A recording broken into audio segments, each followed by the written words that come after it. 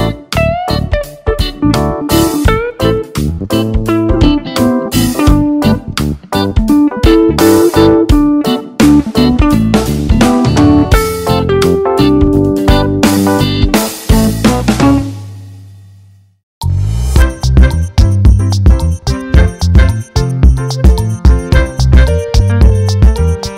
असलकुम मैं हूँ नाजिमा और आप देख रहे हैं नाजिमास किचन अल्लाह बरकत दे आपके खाने में, आपके रिक्स में, आपके जायके में।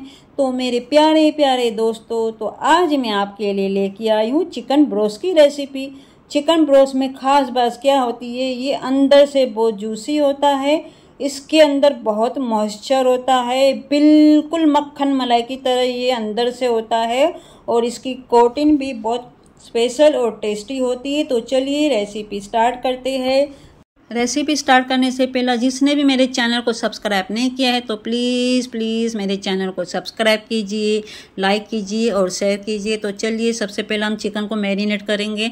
तो यहाँ पर मैंने ली हूँ वन के जी चिकन तो चिकन को मैंने वेनीगर में पानी में सोख करके इसे हाफ़ एन आवर के रख दी थी और चार पाँच पानी के बाद इसे मैंने अच्छे से वॉश कर ली और इस तरह से मैंने इसका कट लगा लिया। आप लोग भी दिख रहा होगा यहाँ पे कट तो इस तरह से कट लगाना है हमें। आप लोग भी कट लगाना। तो यहाँ पर मैंने बाउल ली हूँ। तो बाउल में हम मसाला ऐड करेंगे। तो यहाँ पर मैंने one tablespoon Kashmiri red chilli powder और one tablespoon red chilli powder add की हूँ। और फिर इसके बाद मैंने ऐड की हूँ one tablespoon chicken masala powder add की हूँ। चिकन मसाला पाउडर ऐड करने के बाद मैंने हाफ़ टेबल स्पून हल्दी ऐड करी हूँ और one table spoon ginger powder है। और half table spoon garlic powder अगर आप लोगों के पास जिंजर और गार्लिक पाउडर नहीं हो तो आप जिंजर गार्लिक का पेस्ट भी ऐड कर सकते हो। तो यहाँ पर मैंने ली हूँ one table spoon soya sauce और one tablespoon red chilli sauce इन, फिर इसके बाद मैंने अकॉर्डिंग के हिसाब से आप लोग सॉल्ट ऐड करना मैंने अपने हिसाब से सॉल्ट ऐड करी हूँ और मैंने half teaspoon baking soda add करी हूँ। बेकिंग सोडा ऐड करने से थोड़ा चिकन जो है ना, उसका सॉफ्टनेस होता है। और यहाँ पर मैंने हाफ़ मैंने लेमन का जूस भी ऐड करी हूँ और इन सबको हमें मिक्स करना है। आप लोगों को भी ये ड्राई लग रहा है ना तो मैं इसमें थोड़ा पानी भी ऐड करने वाली हूँ। वन टेबल स्पून ही पानी ऐड करूँगी मैं। इसमें ज़्यादा पानी इसमें ऐड नहीं करना है, क्योंकि हमें इसे, इस मसालों को हमें ड्राई रखना है। तो यहाँ पर मैंने वन टेबल स्पून पानी ऐड करी हो। पानी ऐड करने के बाद इसे मिक्स करेंगे। देखिए, अभी मैं इस तरह से इसका पेस्ट बनाई हूँ। तो फिर पेस्ट बनाने के बाद यहाँ पर मैं चिकन एक पीस ली हूँ चिकन का। फिर चिकन को इसमें अच्छे से इसकी मसाले से इसे कोटिंग करना है। मैंने अच्छी तरह से देखिए जो कट लगाई हूँ ना मैंने तो उस कट के अंदर भी हमें आ, मसाला अंदर जान लगाना है ताकि ये मसाला अंदर तक आ, कोट हो जाए और खाने में भी इसका अच्छा सा टेस्ट आए। तो आप लोग भी इस तरह से अच्छी तरह से कट लगाना। और फिर बाकी के जो चिकन है ना उन सबको मैं मसाला लगा के फिर आप लोगों को बताती हूँ।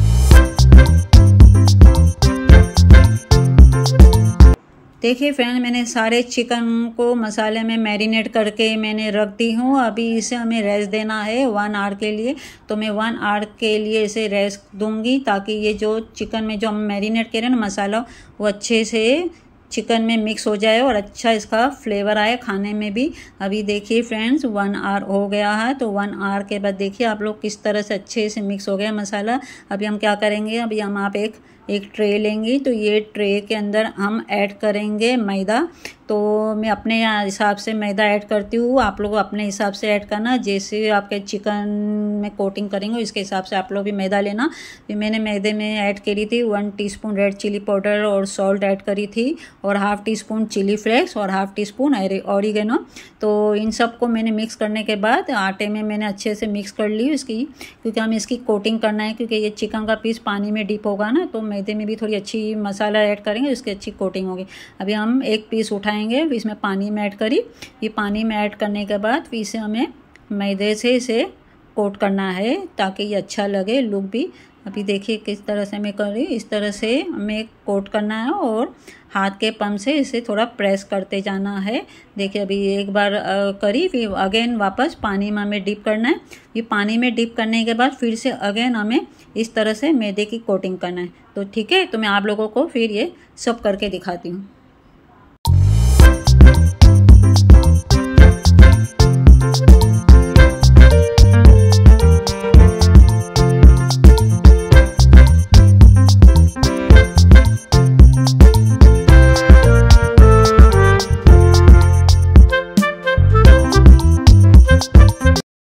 देखिए, इन सारे चिकन को मैंने अच्छे से इसकी कोटिंग करके रेडी करी और यहाँ पर मैंने ऑयल ली हूँ। ऑलरेडी ऑयल को पहले से मैंने हाई फ्लेम पे इसे मैंने गरम कर ली थी। फिर इसके बाद मीडियम टू लो फ्लेम पे ही हमें इसे फ्राई करना है ताकि ये जो मीडियम टू लो फ्लेम पे हम फ्राई करेंगे ना तो जो अंदर से जो इसकी चिकन का जो कच्चापन है ना, अच्छे से कुक हो जाए और सॉफ्टनेस आए तो आप लोग भी मीडियम टू लो फ्लेम पे ही करना फास्ट नहीं करना है हमें, क्योंकि फास्ट करेंगे तो ये जल जाएगा तो फिर अंदर से कच्चा भी रहेगा और और अच्छे से कुक नहीं होगा। तो इसलिए हमें मीडियम टू लो फ्लेम पे ही कुक करना है।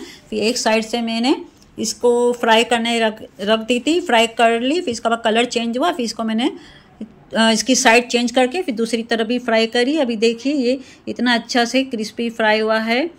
देखिए इसका फाइनल लुक मैंने इसे फ्रेंच फ्राई के साथ और टमाटो सॉस के साथ मैंने इसे सर्व किया है। आप लोग चाहिए तो मयूनीस का साथ भी आप लोग इंजॉय कर सकते हैं। और फिर मैं मिलती हूँ एक अच्छी नई रेसिपी के साथ। तब तक के लिए अल्लाह हाफिज़। Thanks for watching